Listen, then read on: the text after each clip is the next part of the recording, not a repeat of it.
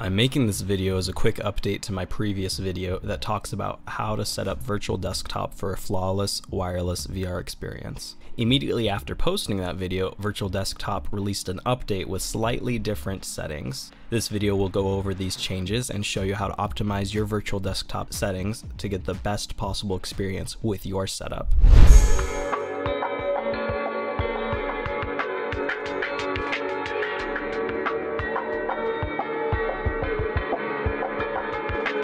First, I had said that you need to install Revive to play Oculus Rift games through Virtual Desktop. I was informed that this is no longer the case. Revive is still a nice program if you want to see all of your Rift games in Steam VR, but if you don't like having extra programs or are trying to save space, you do not need Revive anymore to play Rift games. To play Rift games through Virtual Desktop, simply open the menu by pressing the menu button on your left controller, go to Games and select whatever game you want to open all of your Steam and Oculus games will be listed there. Now let's talk about the virtual desktop settings.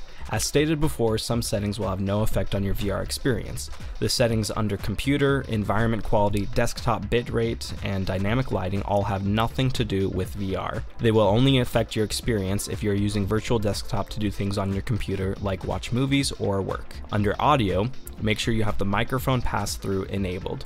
A lot of people get really frustrated trying to figure out why other people can't hear them, and this is usually why. Make sure it is enabled, and other gamers should hear you in multiplayer games. Under VR streaming, make sure you select sliced encoding. This won't work with all GPUs, but with those that it does work with, it will make your VR experience better.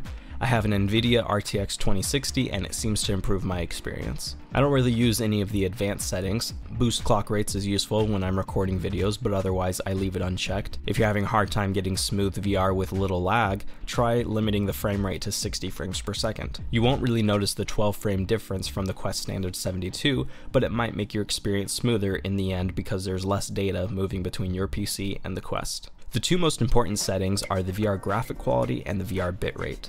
Having both of these settings maxed out will make your game look the best it can, but will increase lag and lower performance. The goal with these two settings is to experiment and find the optimal settings for your setup. For example, if you have a bad connection to your PC, you will have to have lower settings than someone who has a dedicated Wi-Fi 6 router for the Quest as explained in my previous video. When experimenting with these settings, make sure you experiment using the most demanding game you own. I used Half-Life Alyx. Also have someone keep an eye on your latency, which can be seen in the Virtual Desktop Streamer app. Latency is measured in milliseconds and is how much time elapses between the data transfer. Any latency under 50 milliseconds is acceptable and hardly noticeable. Once you get to 50 milliseconds and higher, it does start to be a little annoying. Do not expect to get latency under 25 to 30 milliseconds. At 30 milliseconds, you won't hardly notice the lag unless you're moving your hand super fast and looking for it.